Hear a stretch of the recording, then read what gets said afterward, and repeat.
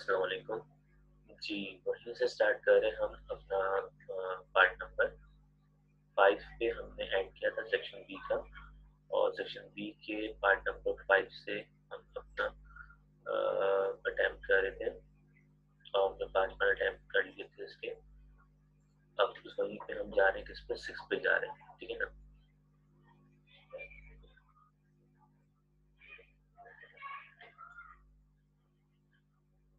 Six part को आप एक दफ़ा रीड कर लें कि कंडीशन क्या है। सिक्स पार्ट की जो कंडीशन है वो क्या है? प्रोबेबिलिटी का सवाल है हमारे पास। और सेटिंग कर रहा हूँ। हाँ अब सही आ रहा है। चले, अब देखें क्वेश्चन देखें क्वेश्चन में क्या है? three item are chosen at random from a box containing 15 item, of which six are defective कितने हैं टोटल कितने हैं फिफ्टीन है। क्वेश्चन को थोड़ा समझने की बात है। जब भी कभी भी ऐसी कंडीशन आए कि आपके पास टोटल आइटम कितने हैं यहाँ पे जैसे कि फिफ्टीन है और सिक्सटीन जो है, वो डिफेक्टिव है तो इसका अनडिफेक्टिव क्या होगा? फिफ्टीन में से छह खराब है तो सही कितने हुए? नाइन से सही हुए डिफेक्टिव में अनडिफेक्टिव हुए वो। तो इसका मतलब ये हुआ फिफ्टीन में दो कैटेगरी इन्वॉल्व है, एक कैटेगरी किसकी है डिफेक्टिव की और एक कैटेगरी किसकी है अनडिफेक्टिव की। तो इसका मतलब इनकी प्रोबेबिलिटी निकालनी हमने, ठीक है ना? अब कहते हैं find the probability that two items are defective कितने डिफेक्टिव है? टू अगर सवाल शुरू से पढ़े आप तो शुरू में क्या लिखा हुआ है? Three item are chosen at random यहाँ पे तीन आइटम जो है वो क्या कर रहा है, वो सिलेक्ट कर रहा है। थ्री बोल्ट हो सकते हैं थ्री नट हो सकते हैं थ्री कुछ भी हो सकता है। तो तीन सिलेक्ट कर रहा है और कहते हैं उन तीन में से दो जो है वो खराब है। तो बकिया एक क्या होगा? बकिया एक क्या होगा? अनडिफेक्टिव होगा। अगर तीन सिलेक्ट कर रहा है और तीन में से हमारे पास दो जो है वो डिफेक्टिव है तो बकिया एक भी तो बचा ना। वो एक क्या है? वो अनडिफेक्टिव है। ठीक है ना? तो इसका मतलब यहाँ पे जो प्रोबेबिलिटी अप्लाई हो रही है, वो दो कंडीशन के लिए अप्लाई हो रही है। तो प्रोबेबिलिटी जब भी दो कंडीशन के लिए अप्लाई होती है तो हम यहाँ पे कंडीशन को डिफाइन करेंगे। कॉम्बिनेशन दो अप्लाई होगी, यहाँ पे फॉर्मूला जो अप्लाई हो रहा है, वो देखिए क्या है पी ए इंटरसेक्ट बी बराबर हो जाए किसके? एक डिफेक्टिव का कॉम्बिनेशन अप्लाई होगी, एक अनडिफेक्टिव की कॉम्बिनेशन अप्लाई होगी। जितनी कैटेगरीज डिफाइन होंगी सवाल के अंदर उतने ही यहाँ पे हम फॉर्मूले को बढ़ाते जाएँगे। ठीक कार्ड की कंडीशन में भी ऐसे ही है और जितने भी ऐसे आइटम जहाँ पे क्या हो रही है सिलेक्शन हो रही है। ये सवाल जो है बेसिकली ये फॉर्मूला जो है, वो फॉर्मूला हम ये फॉर्मूला जब अप्लाई करेंगे, जब हमारे पास क्या होगा, हम सिलेक्शन कर रहे होंगे। क्या करते हैं एक बार सिलेक्शन की, ठीक है ना? तो हमने क्वाइन कंडीशन में ऐसा कभी नहीं किया तीन क्वाइन के तीन से दो टॉस कर दिए। कभी ऐसा नहीं हुआ। डाइस की कंडीशन के अंदर फोर डाइस हमारे पास है, उसमें से टू डाई हमने उठा के उसको थ्रो कर दिए या रोल कर दिए तो ऐसा वहाँ पे सिलेक्शन नहीं थी। तो इन दोनों टेक्निक्स के अंदर ये वाला फॉर्मूला अप्लाई नहीं होगा। ठीक है ना? तो अब ये फॉर्मूला कहाँ अप्लाई होगा? ये फॉर्मूला वहाँ पे अप्लाई हो रहा है जहाँ पे आप क्या कर रहे हो सेलेक्ट कर रहे हो, चाहे वो स्कूल्स हो, चाहे वो स्टूडेंट्स हो, चाहे वो लोग हो, चाहे वो कुछ भी हो, ऐसी चीज़ जहाँ पे क्या हो रही हो सेलेक्ट हो रही हो। ठीक है ना? तो यहाँ पे हमारे पास जो कंडीशन आ रही है, वो क्या आ रही है? एक आपके पास आ रही है डिफेक्टिव एक आ रही है? अनडिफेक्टिव ठीक है तो फॉर्मूला एनसीआर का, एक दूसरा फॉर्मूला है एनसीआर का, ये डिफेक्टिव का है, ये अनडिफेक्टिव का है। फॉर्मूला डिवाइड बाय एनएस यानी सैंपल स्टेज टोटल कितना है? तो टोटल कितने थे? आपके पास 15 थे। इसलिए कितने हुए? 3 तो इसका मतलब क्या हुआ? 15 से 3 हो गया।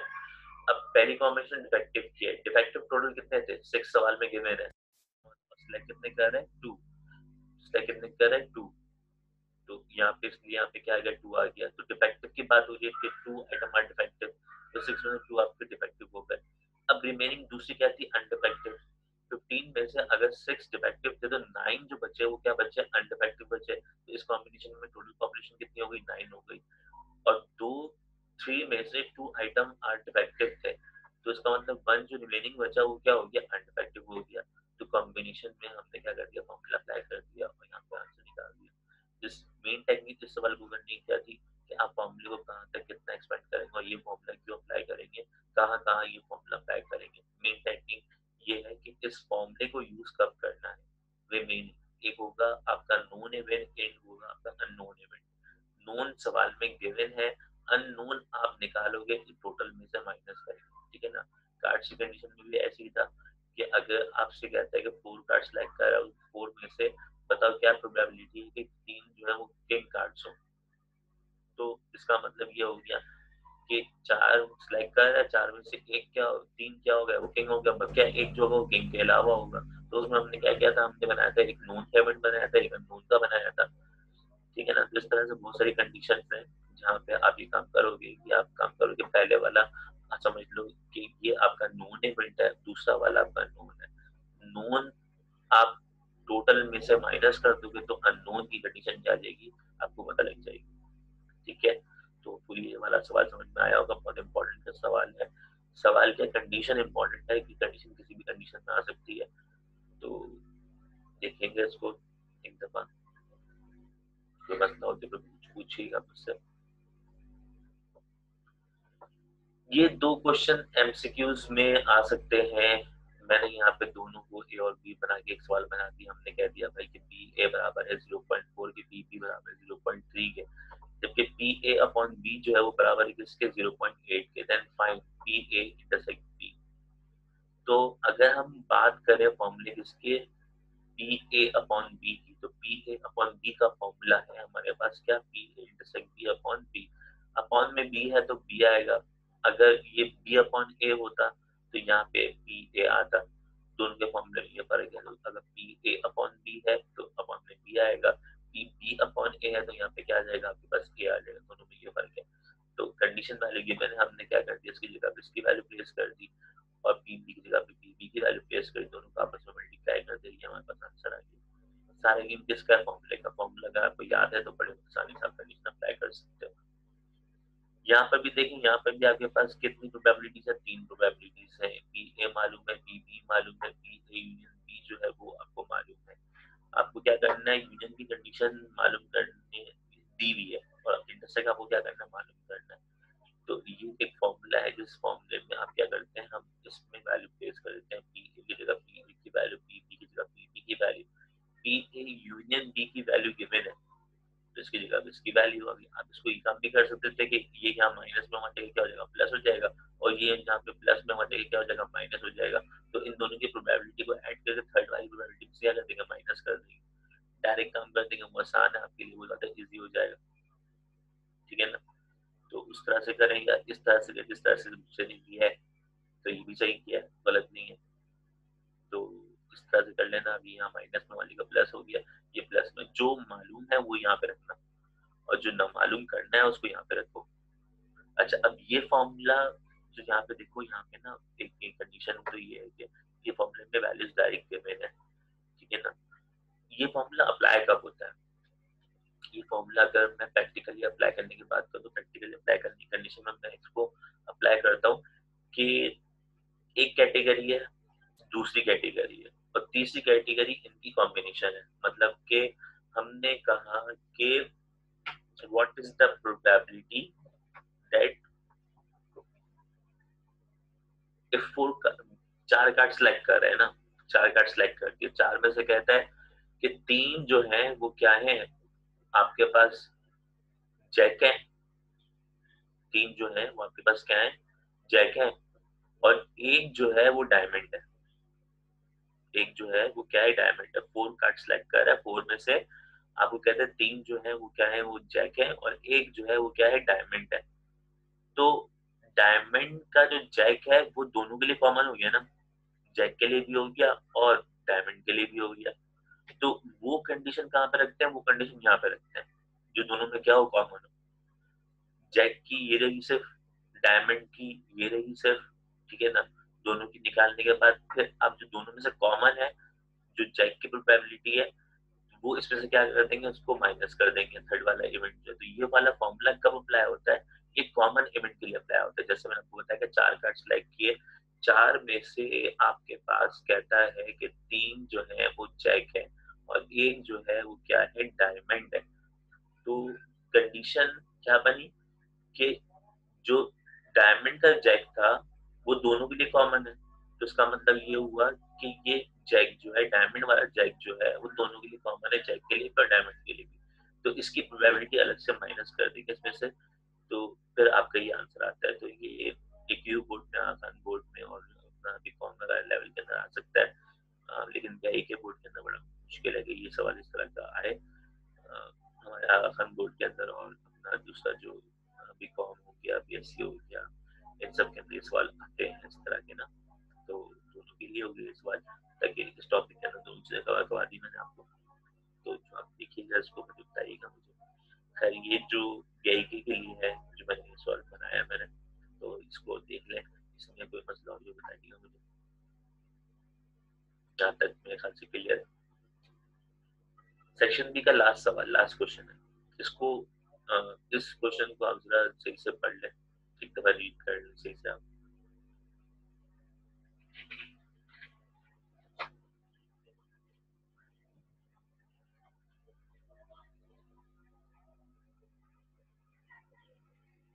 अगर आपने क्वेश्चन रीड कर लिया तो रीड करने के बाद आपने ये देखा कि टोटल ऑब्जर्वेशन कितनी है? 25 इस 25 का जो मीन है वो कितना है? 12.7 है। टोटल वैल्यूज़ टोटल ऑब्जर्वेशन कितनी है? 25 है। और इस 25 का जो मीन है वो कितना है? 12.7 है। ठीक है ना? फिर कहता है यहाँ पे आगे कि इस डेटा में, इस मीन में, इस 25 वैल्यूज़ की जो मीन है, इसके अंदर एक वैल्यू जो थी 24 वो गलती से क्या हो गई? ऐड हो गई है।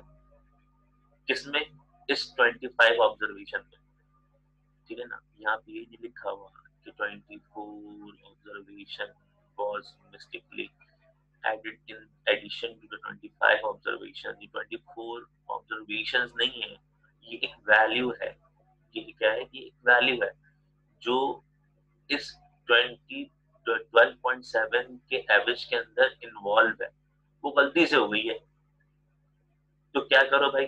Find the correct mean correct mean मालूम कीजिए उस वैल्यू को निकालने के बाद। जो गलत वैल्यू आपने इंटर कर दी थी, आपने उसका एवरेज निकाला था आपने तो वो वैल्यू 24 जो वो गलती थी। उस गलती को क्या करते हैं? माइनस कर दें टोटल ऑब्जर्वेशन कितनी है? ट्वेंटी फाइव है। ये बात समझ में आई? दोबारा रिपीट करता हूँ। टोटल ऑब्जर्वेशन कितनी है? ट्वेंटी फाइव इस ट्वेंटी फाइव ऑब्जर्वेशन का मीन कितना है? ट्वेल्व पॉइंट सेवन ये ट्वेल्व पॉइंट सेवन जो है वो किसी डेटा का मीन होगा ना? ट्वेंटी फाइव वैल्यूज़ है। उन वैल्यूज़ में कोई ना कोई वैल्यूज़ होंगे या नंबर्स होंगे। उन नंबर में एक नंबर 24 गलती से क्या हो गया? ऐड हो गया। क्योंकि मीन का फॉर्मूला क्या है यहाँ पे? देखो मीन का फॉर्मूला है समीशन एक्स अपॉन एन तो समीशन एक्स के अंदर कोई तो वैल्यू ऐड हुई होगी ना? उस वैल्यूज़ के अंदर गलती से 24 जो है वो क्या हो गया ऐड हो गया तो वो 24 हमें क्या करना है? इस समीशन एक्स वाली वैल्यूज़ में से माइनस करना है। ठीक है ना? तो अब देखो करा कैसे? ये बात समझ में तो हमने यहाँ पे समीशन एक्स वाली वैल्यू में से ट्वेंटी फोर को क्या करना माइनस करना है। तो सबसे पहले हमने क्या किया? समीशन एक्स निकाला। मीन की जगह पे मीन की वैल्यू रखी ट्वेंटी फाइव एन की जगह पे एन की वैल्यू रखी। यहाँ डिवाइड में हमारा क्या हो गया? मल्टीप्लाई इसको मल्टीप्लाई किया तो आंसर किसका आ गया समीशन एक्स का आंसर आ गया। अब वही बात, हमने कहा था कि हम जो माइनस कर रहे हैं ट्वेंटी फोर किसमें से माइनस करेंगे?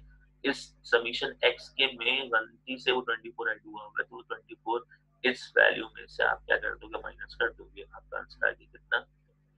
अब ये जो वैल्यू ऑब्जर्वेशन ट्वेंटी कितनी थी? 25 थी। 25 ऑब्जर्वेशन में ये एक ऑब्जर्वेशन 24 गलती से क्या हो गई? ऐड हो गई है। तो इस एक ऑब्जर्वेशन को आप क्या कर रहे हो? माइनस कर रहे हो। एक ऑब्जर्वेशन डेटा में से क्या हो रही है? एक ऑब्जर्वेशन डेटा में से क्या हो रही है? माइनस हो रही है ना? तो इसका मतलब पहले ऑब्जर्वेशन 25 थी। अब एक ऑब्जर्वेशन जब माइनस कर दोगे आप इस डेटा में से तो फिर आप क्या हो जाएगा? ये ऑब्जर्वेशन कितनी बचेगी? 24 बचेगी। तो इसका मतलब ये हुआ कि 24 इस वैल्यू में हमने माइनस कर दिया। एक ऑब्जर्वेशन जो है वो लेस हो गई। तो अब करेक्ट मीन का फॉर्मूला क्या है? Summation X upon N summation X कौन सा पिक किया, ये वाला पिक किया।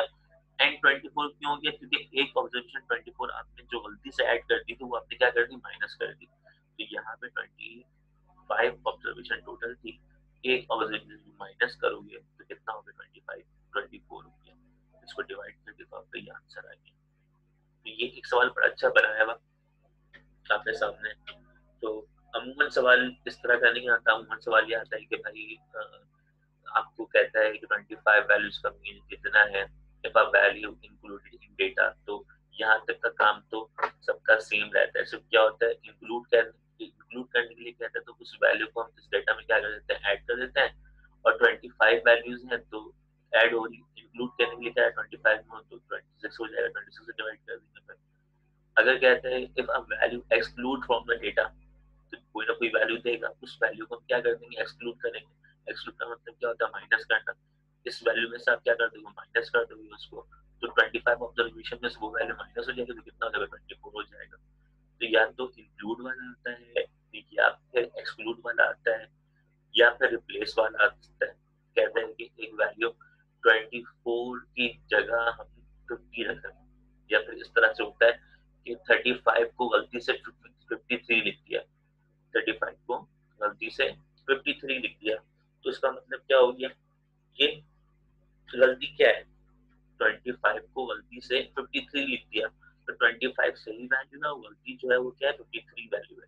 तो इसका मतलब 53 माइनस करेंगे और 35 क्या कर देंगे? ऐड कर देंगे। तो कहाँ करेंगे काम समीशन एक्स में, जिस वैल्यू में काम करेंगे? जो भी एडिशन होगी, वो समीशन एक्स में होगी। यहाँ तक काम तो आपको सबसे पहले में करना है। इसके बाद जो होगा, जो प्लस माइनस करना है इंक्लूड के अंदर इसमें ऐड होगा एक्सक्लूड के अंदर इसमें से माइनस होगा। अगर रिप्लेस वाली कंडीशन होगी, जिसको माइनस कर रहे हो, जो गलती है, वो गलती इस डेटा में से क्या हो जाएगी? माइनस हो जाएगी। और सही वैल्यू अगर है जो सही वैल्यू थी वो इसमें क्या कर देंगे? ऐड कर देंगे। जैसे मैंने कहा कि 35 को गलती से 53 लिख दिया। तो 53 गलती है तो 53 इसमें से माइनस होगा और 35 क्या हो जाएगा? इसमें ऐड हो जाएगा। तो वैल्यू रिप्लेस हुई है। तो जो भी सबमिशन एक्स आएगा वो यहाँ पे आंसर आ जाएगा। अब करेक्ट मीन के अंदर 25 ऑब्जर्वेशन ही है। जो तो जब 25 ही रहेगी, क्योंकि एक गई है तो एक वापस भी आ गई है। ठीक है ना? तो यहाँ पे जो डिवाइड कर रहे होगे आखिर में तो वो तो ऑब्जर्वेशन होगी जितनी ऊपर आपके पास है ना? तो इस इस सवाल के थ्रू मैंने आपको इसके अंदर इंक्लूड वाला एक्सक्लूड वाला रिप्लेस वाला और एक ये खतरनाक से जितने सवाल जो मैंने दिया है, इसमें तो गलती हो जाती बच्चों की। तो इसमें आपको थोड़ा मसला हुआ होगा, क्योंकि प्रीलिम के पेपर में किसी ने भी सवाल को अटेम्प्ट नहीं किया था चॉइस में छोड़ दिया था। मुझे पता था इसलिए सवाल बनाया था, ताकि आप चॉइस में छोड़ें। ठीक है ना? तो ये हो गया हमारी कंप्लीट सेक्शन बी तो इंशाल्लाह फिर जो हमारी नेक्स्ट वीडियो होगी, वो सेक्शन सी के हवाले से होगी, ठीक है ना? तो सेक्शन बी के अंदर पाँच सवाल अटेम्प्ट करने होते हैं एट में से तमाम बच्चों को एडवाइस है मेरी कि आप क्वेश्चन में सेक्शन बी के अंदर अगर आपसे कहता है कि आठ में से पाँच सवाल अटेम्प्ट करें तो अगर आपके पास टाइम है ना तो आप ज़्यादा कर दें।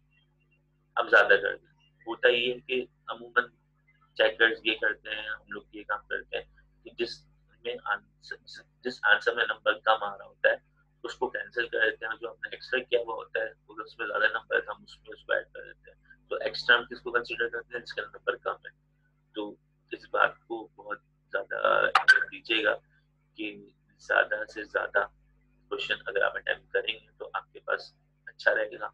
लेकिन कम अगर आप टाइम से पहले क्वेश्चन कर ले तो ऐसा नहीं कि जल्द जल्द करने सब करने के चक्कर में जल्दी जल्दी काम किया और सब खराब कर दिया। पाँच आपने अटैम्प्ट कर लिए बी में से, दो आपने अटैम्प्ट कर लिए सी में से। तो अगर आपके पास टाइम बचा है तो आप एक्स्ट्रा काम कर दें और तो आपके लिए अच्छा प्रेजेंटेशन बहुत मैटर करती है। ठीक है ना? तो इस चीज़ को हम यहाँ से पॉइंट अप करते हैं। ठीक है? तो कोई मसला आपको कोई मसला हो तो भी बताइए, आप डिस्कस कर सकते हैं। हम यहाँ पे इसी के लिए बैठे हैं ताकि आपके मसलों को हल करें। इनशाला इस वीडियो के बारे में भी आप फीडबैक दीजिएगा कि इसमें आपको क्या मसला हो क्या मसला नहीं हुआ। आपके मसले हल हो रहे हैं या नहीं हो रहे ये मुझे, मैं शेयर जब कर रहा हूँ तो मुझे पता लगना चाहिए कि इससे आपको बेनिफिट हो रहा है। अगर बेनिफिट हो रहा है तो फिर मैं फर्दर मेहनत करूँ, अगर बेनिफिट नहीं हो रहा तो फिर मैं इस काम को दूँगा।